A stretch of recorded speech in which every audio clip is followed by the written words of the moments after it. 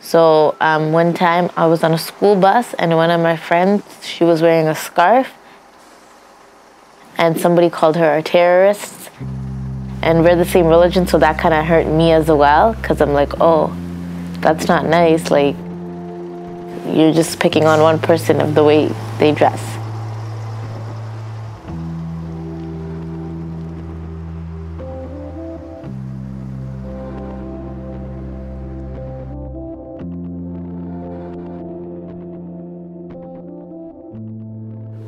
So I identify as a Canadian South Asian um, Muslim.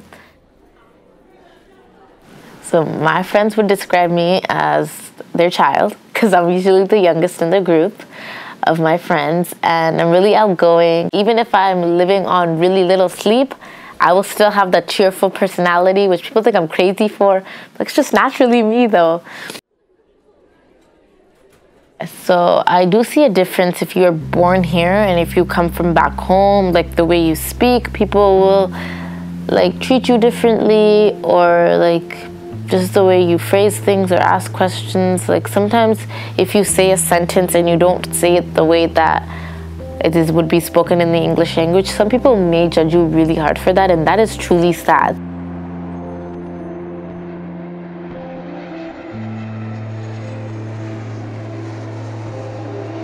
Uh, when you take that flight, you uh, ours is a developing country, right? So you take that flight to a developed country, you know that it's the biggest step of your life.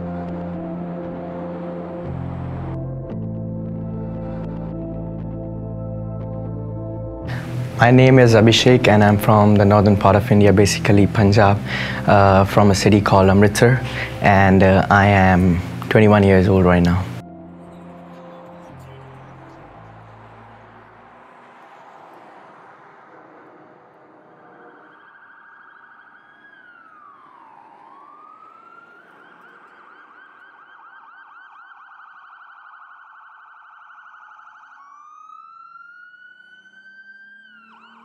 Uh, I came to Sheridan on uh, uh, 25th December 2016. I remember it was a Christmas day and there wasn't much happening in the city, a lot of snow. But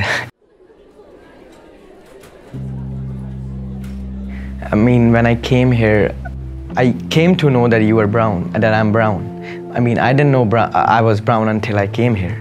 I thought I was white. I was white in India.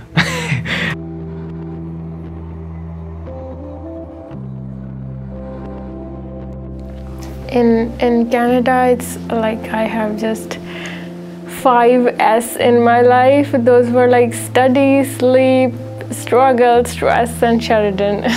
These are the five S in my life. A few to think about that.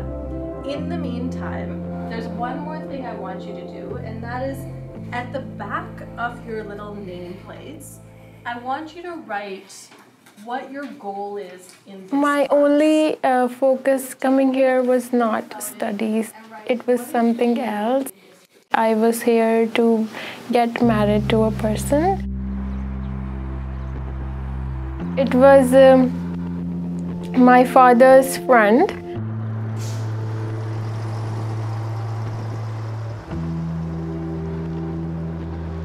But at the end of the day, this that didn't happen. So I have to end up getting into the school. But still, I have contact with that family, and um, I don't feel good at all with them, talking to them. So I really miss my parents because I am 18 years of my age. I have never lived without my mother. So when I just came to Canada, my first night was so difficult. I was just crying over why did I step out.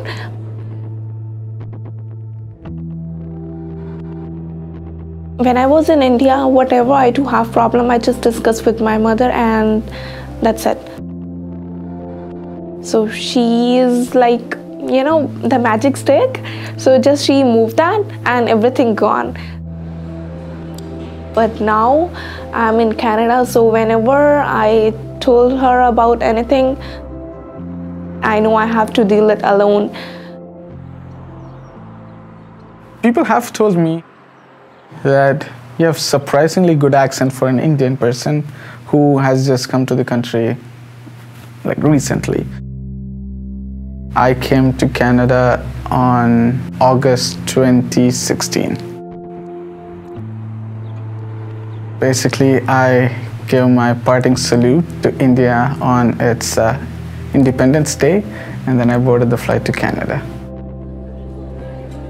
I'm lucky enough that I speak multiple languages, so I can gel well with Punjabis, the mostly Hindi speaking crowd, and also Tamil speaking people, also Malayalam, that's a language in Kerala.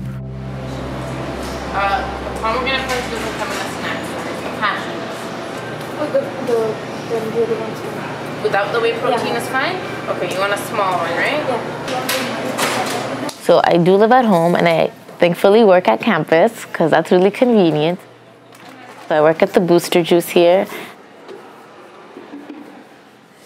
Working does help, but at the end of the day, I feel like a lot of us really do rely on government OSAP to help us pay with our fees. So financial situation in Canada is really tough for an international student because you're paying three times the fees that a domestic student would pay every semester.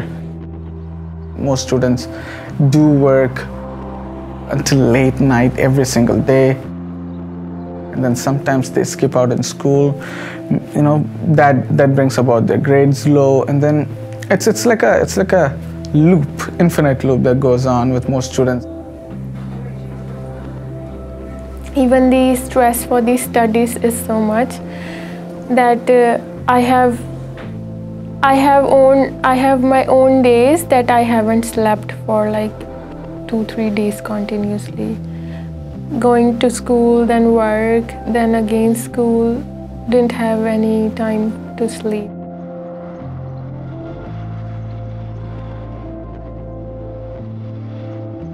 I used to come to college uh, 9 to 5, then go to factory uh, 11, 11 p.m. to 7 a.m. in the night, then come again to college. It used to be repeated every week, five days a week. And at the end of the week, I used to, I just used to sleep whole day long.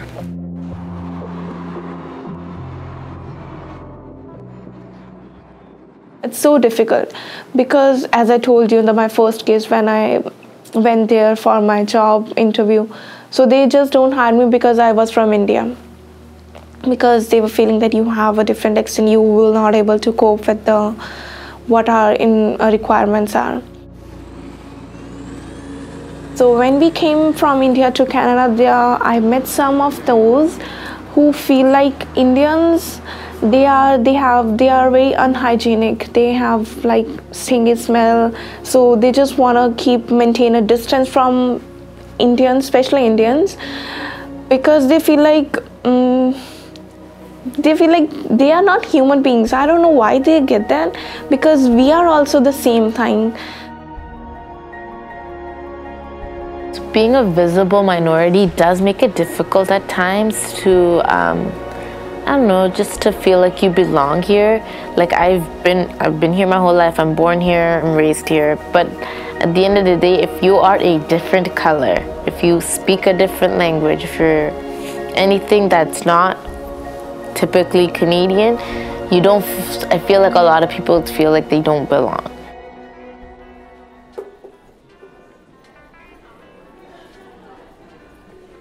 I went to some jersey store and uh, there were some white people there and uh, the salesperson was dealing with them. I was standing there for since 15 20 minutes. They saw me and they ignored me. I felt so bad went back home cried a lot. But I thought that this is the life I have to I have to have to go ahead and uh, fulfill my mother's dream I've, I've heard people talk to other people saying that oh, Indian people they, do, they smell funny, uh, they talk weird. when the person who is trying to express the emotions who is trying to uh, convey some message they have a different accent so the instead of getting deep into that message instead of understanding what the person is saying they just keep on laughing that laughter breaks a person. That it's It's just accent. It's, it has nothing to do with your knowledge of the subject, your vocabulary of, of the language. It's just how people talk.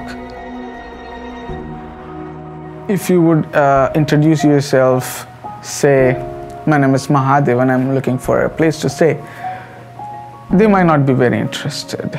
But say, if you, if you chop down your name from Mahadevan to just say Devan, they don't really know. If you're brown, you're white, they don't really know.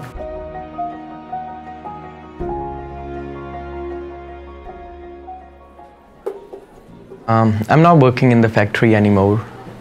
It's been a long while. I've learned a lot of things. Now I know which jobs to apply for and which jobs do I deserve. I've been, uh, since first semester, I've been reaching out to the Dean of International Students here at my college. He knows me well. He, he knows me by, by my name. Right now, I'm in the board of directors. I fought for elections, and uh, I'm in the Senate too. I speak up for students. And if you go and talk to uh, the president of Sheridan, the vice president of Sheridan, student life advisors, international dean, I've talked to each of them about students. So that's how I do my part. I want to let people know that if uh, international students are coming to your, they have chosen you to be the pathway or, of their success, then it's it's it's your responsibility too to help them in equally respectable way. now the things are getting better because the I have because I am into this now. I am not running from this. Being myself is the thing I I collected here. The things were different than India, but still I managed and um made my own path. So in our rainy days, you know, okay, you have faced once in your life this kind of situation. So at that moment also you never give up.